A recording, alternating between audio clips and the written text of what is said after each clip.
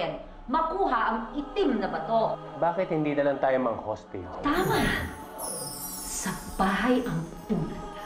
Para sa mga bulaklak. Dadalawin ko ang daddy niyo sa puntod niya. Kasi nagpakita siya sa akin kagabi. Nakasuot pa yung favorite niyang pajama. Ha? Meron siyang bala.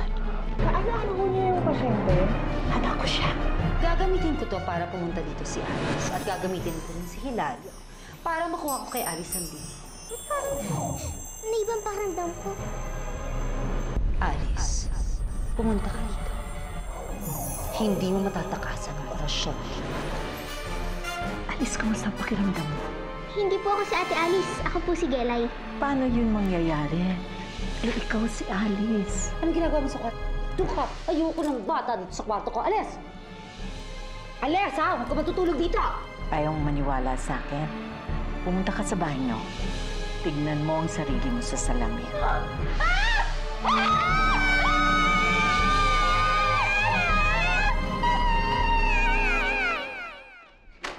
Ano po nangyari? Bakit po naging kamukha ko si Ate Alice? Eh, ewan ko. Hindi ko rin alam. Eh, tsaka, hindi ko kilala yung sinasabi mong gelay. Pero, sigurado ka bang hindi ikaw si Alice?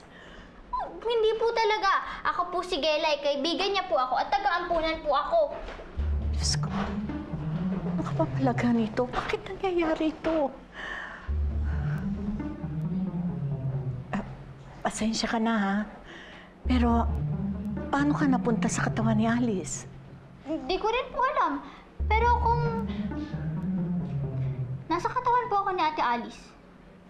Nasaan po yung totoong Alice?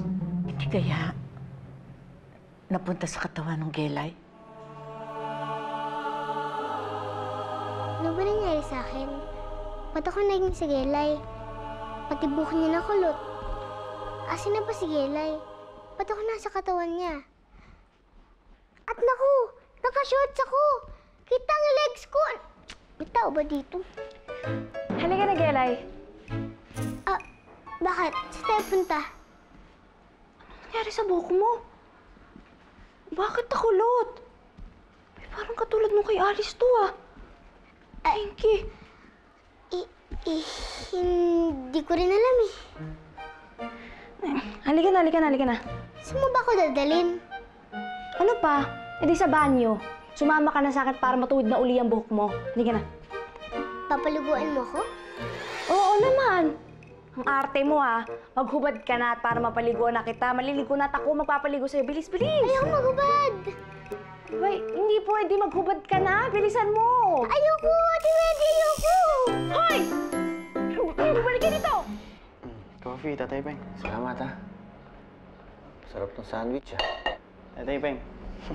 Nakita pala kayo ni Mama kagabi. Akala po niya, multo kayo ni Tito Berhel. Kasi suit po ninyo yung pajama niya. Naku, sensya ka na. Sobrang nauhaw kasi ako kagabi kaya pumunta ako dito sa kusina eh. Eh malay ko ba na gising pa yung mami mo ng ganung oras.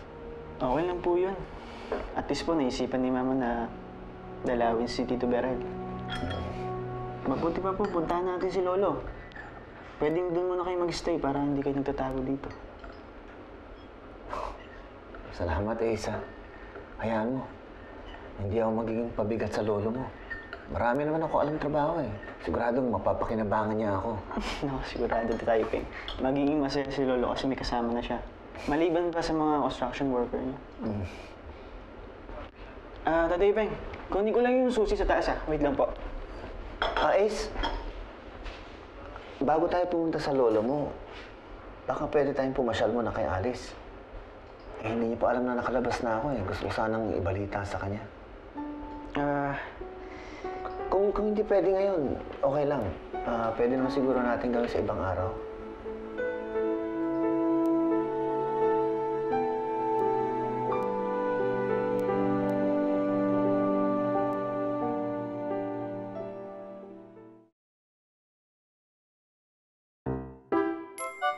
Nasaan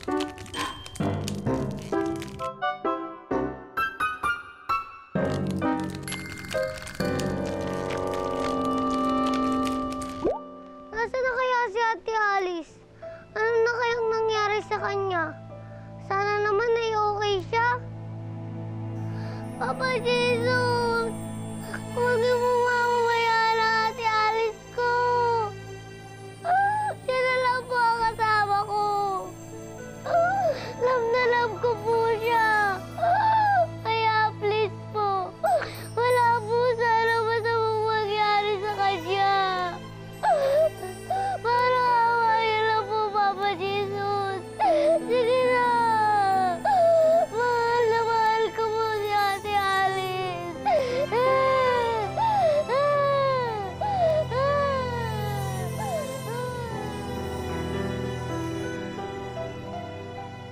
Makinig kayong lahat. Pansamantala akong nandito dahil meron akong mahalagang misyon na dapat gawin. At inaasahan ko na walang makikialam sa akin at susundin niyo ang lahat ng inuutos ko. Tama? Tama. At kayong dalawa. Payag kayo, hindi ba? Tama? Tama. Di ba yan ang nanay ni Alice? Yun ang ginagawa niya dito. Oo ka na lang, baka mamaya kulamin ka pa niya. Eh, ba, paano kapag gawin niya tayong palaka? Kaya nga, di ba, huwag na tayong kumontra. Gayahin na lang natin sina Miss Kasimsiman at Miss Doray. Tama? Tama. Kung nandito si Aling Esmeralda, nasan si Ate Sinag?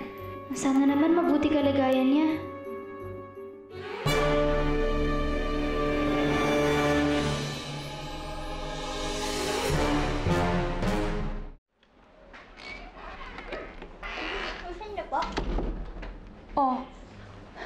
Lalabas na raw ng ospital si Alice. Anong sinasabi mo hindi pa siya okay? Paning, hindi ko nga rin maintindihan yung batang yan eh. Nung kumising, kanina, ano nang sinabi? Hindi nga ako kilala eh. Ha? Naku, eh, baka naapektuhan ng utak? Hindi ko rin masabi eh. Pero, kilala naman niya si Alice. Ate pa nga ang tawag niya. Diyos ko! Nagkapalit sila ng espiritu. Sigurado ko, kagagawa na naman ni Esmeralda yan. Ba't naman niya gagawin yun? Dahil sa itim na bato. Dahil gusto niyang mapalapit ulit sa kanya si Alice. Gusto niyang makita si Alice. Kaya siguro, kinulam niya. Kaya lang, may ibang nangyari. Kaya ayan, yan ang naging resulta.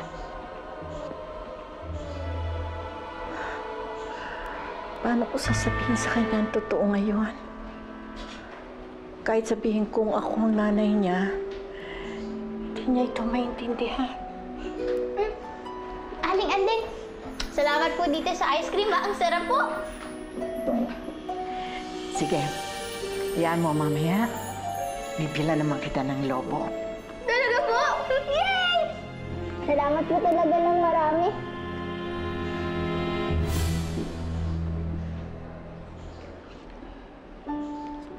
Aling Andeng, bakit po kayo umiiyak? Wala. Masaya, masaya lang ako.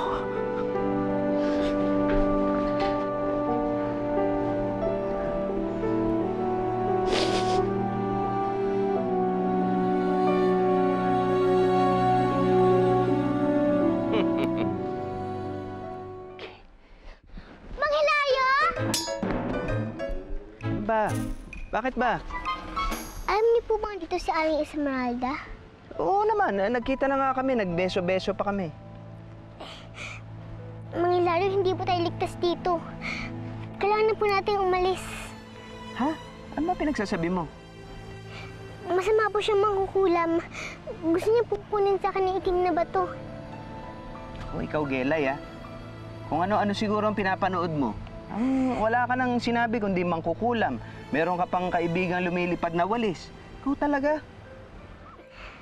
Tsaka ano ba yan? Bakit ba parang namimilipit ka? Hindi po kasi ako sanay naka-shorts. Hoy, ang arte! Ang arte mo! Bakit? Sanay kang magsuot ng gown. Ganun ba? Naku, paano to? Kung sasabihin ko naman kay Mang Hilario na ako si Alice, baka hindi naman siya maniwala. Sana kung nandito si Ate Sinag, matutulungan niya ako. Oh, ba't parang natahimik ka? Iwan ko ba sa'yo?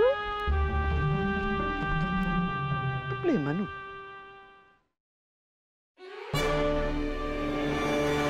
Sinag. Gumising ka. O, ayan. Kumain ka. Ayoko nga kumain. Baka may gayuma pa yan, no?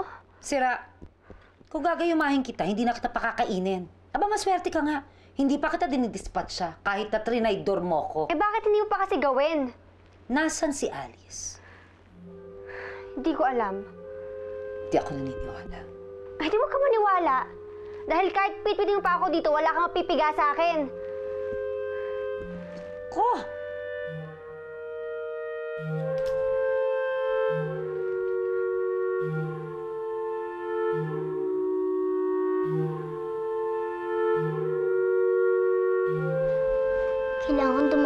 Tumawag ng pulis.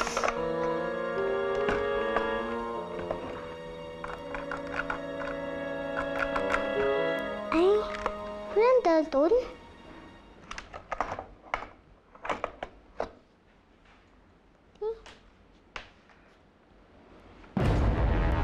Hmm.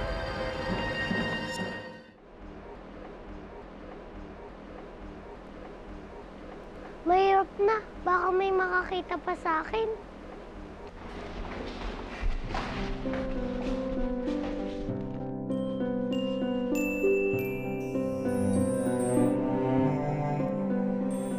Sino kaya yung babaeng yun? Parang nakita ko siya kung saan.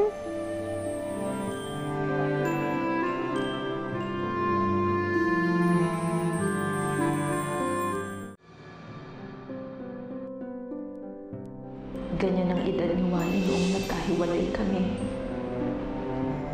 Binata na siguro siya ngayon. Nasaan na kaya ang lupo? Sana, sana magkita pa rin kami balang araw.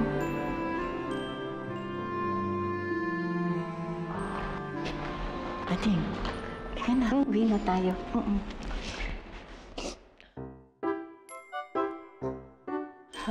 Umiyak ka ba? Hindi, napuwing lang ako. Ka na. Alice? Eh, batang to. Di ka na. Uwi na tayo.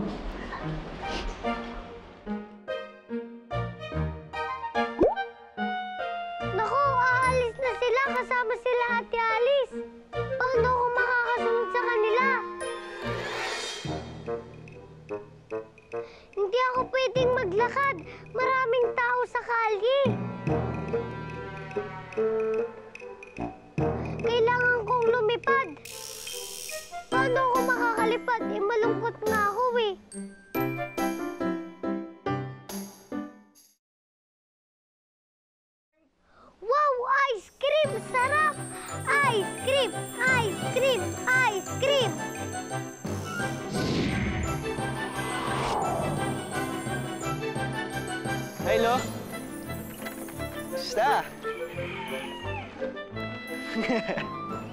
Ano? Kumusta, Lo? Ba't napasagsag ka dito? May kailangan ka, no?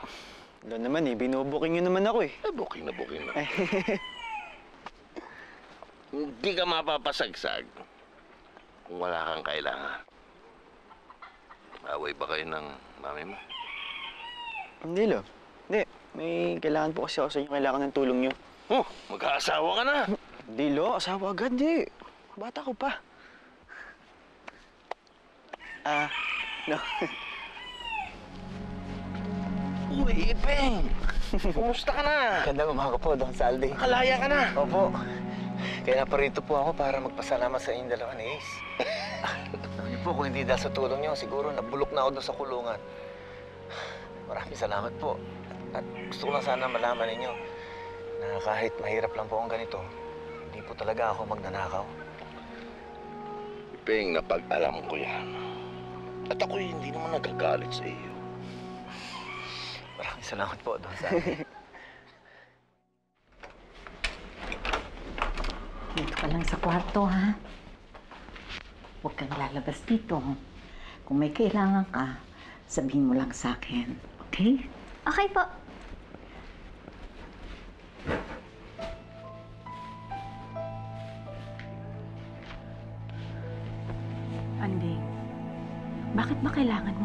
Itago si Alice?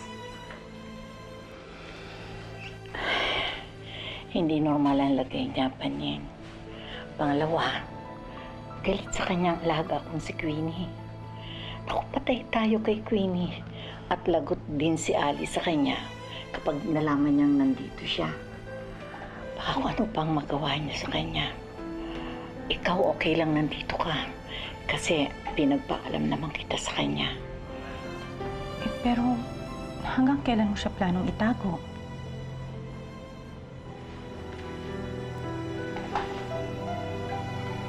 Saklap ang nangyari sa aming mag-ina. Kung kailan pa nakita na kami, tsaka pa ito nangyari sa kanya. Kasama ko nga ang katawan niya, pero hindi ang pagkatao niya. Pero kahit ano pang mangyari, hindi na kami magkakahiwalay. Tatanggapin ko pa rin siya dahil anak ko siya. Anong gagawin ko para maituboy sa Aling Esmeralda? Kailangan umalis siya dito bago pa niya malaman na ako si Alice at hindi si Gelay.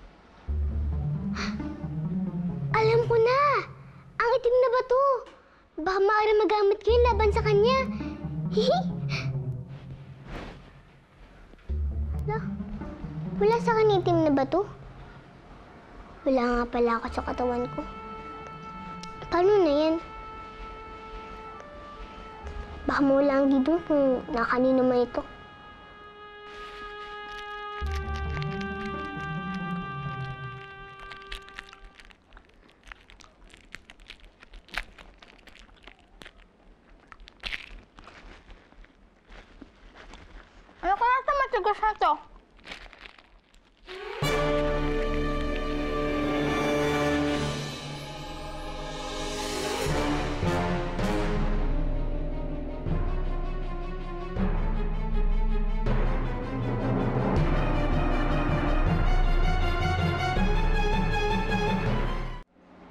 Yaya. Ngayon ka lang nakauwi ng bahay? Ah, oo. Kasi medyo natagalan ako eh. Eh, ano ba naman kasi naging emergency mo? Sino dinala mo sa ospital? Ah, ah, ah eh. Queens! Uy! Spade! Yaya, pahanda naman ng breakfast si Spade, Oh, oh. no, no. I just had my breakfast. Um, juice na lang po. Oo, sige, sandali lang. Oh, what brings you here? Oh, Queens. Alam mo ba kung saan nakatira si Alice? Hindi ko kasi makontak si Kuya eh. And ayaw na rin yung pag-usapan namin yung tungkol doon. Spade, bakit mo na naman hinahanap si Alice, ha? I just want to say sorry to her. Sorry? Spade, are you out of your mind?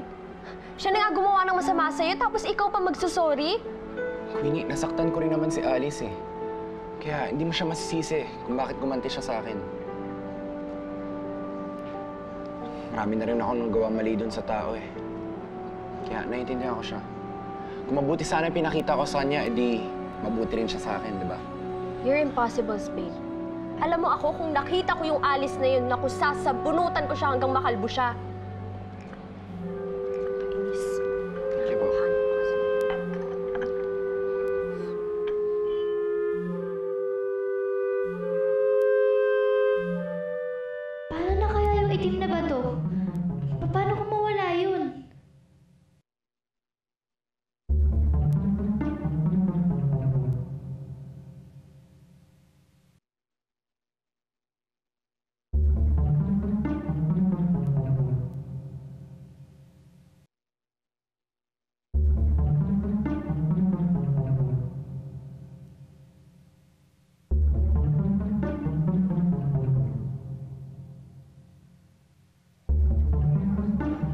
Rosa! Ma'am! Nasaan yung Gucci dress ko worth $500 or 21,000 pesos? Ano po yun, ma'am?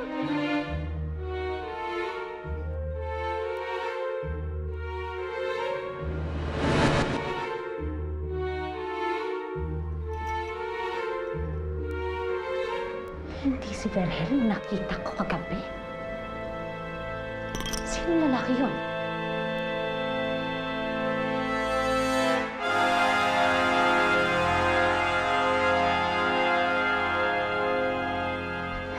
Ate Sinag, bakit ka nakatali? Gelay, wala na akong panahon magpaliwanag. Pero kailangan yung tumakas ni Hilario. Dahil gagamitin siya ni Esmeralda laban kay Alice. Pero bakit naman po nagagawin yun? Kilay, makinig ka. Si Hilario ang tunay na tatay ni Alice.